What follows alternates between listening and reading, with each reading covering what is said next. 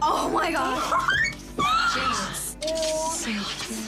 Paris Hilton's expensive and expansive closet raided in a glamorized movie version of real life crimes. Police are investigating the connection of the Hollywood Hills burglaries. For nearly a year, a group of Southern California celebrity obsessed teens targeted the Hollywood homes of their favorite stars and stole more than $3 million worth of cash, clothes, jewelry, art, and even underwear. I just think we wanted to be a part of like the lifestyle, the lifestyle that everybody kind of wants.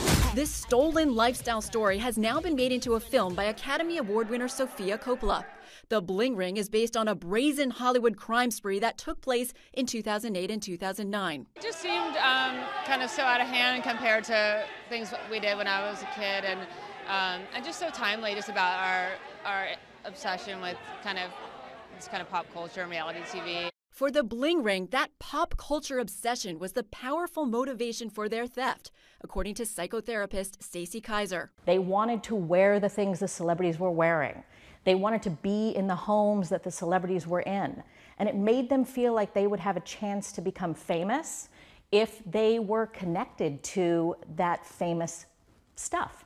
The teens used social media to track the celebrities they targeted, sometimes burglarizing them repeatedly. I was just really upset and mad that these kids had done this to me and just felt so violated and just what they did was so wrong.